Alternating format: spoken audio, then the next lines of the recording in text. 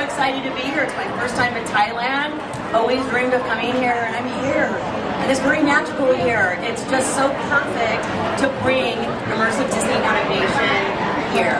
And I hope everybody here will enjoy every single moment. This venue is spectacular.